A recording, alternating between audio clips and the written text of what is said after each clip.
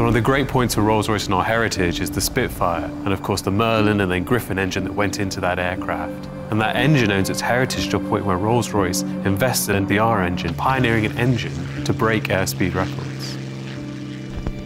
Rolls-Royce bring centuries worth of aviation excellence and combining that with Electroflight's uh, pace, agility. Hopefully this will be sort of one of the first aircraft that is known as being innovative in electrification in this century.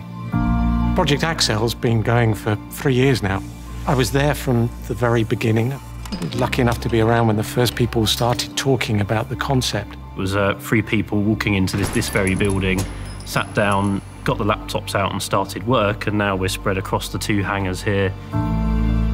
So our, our, aircraft, the Spirit of Innovation, is a, is a unique aircraft that we developed specifically to go break the airspeed records.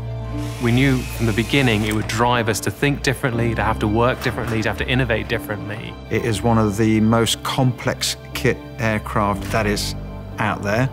So we've got 6,000 battery cells all connected together to an uh, electric motors to deliver more than 500 horsepower. But the project's not just about going fast. The project's about the innovation, about the technology that it takes to go fast. And we're really proud that actually our project overall is going to be net carbon neutral. It's about inspiring a generation of people and proving that electrification and that strategy is here to stay. To get to this stage now, getting the team together we've got uh, in Electroflight and have the involvement of Rolls-Royce, such an amazing project, so exciting.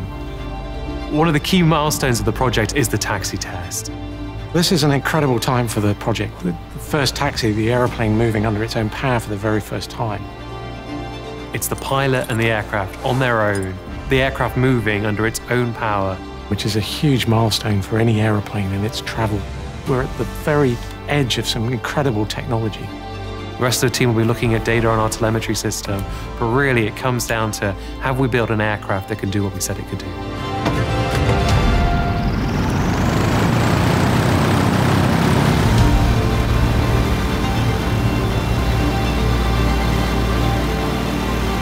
We're entering an incredible phase over the next few months, and then we first fly. I'm often asked what this project means and this step means as part of that journey for the next generation. And to be able to look my own children in the eye and say I'm sustainable, you know, I'm driving to carbon zero in Electroflight and Rolls-Royce doing that, doesn't get any better than that.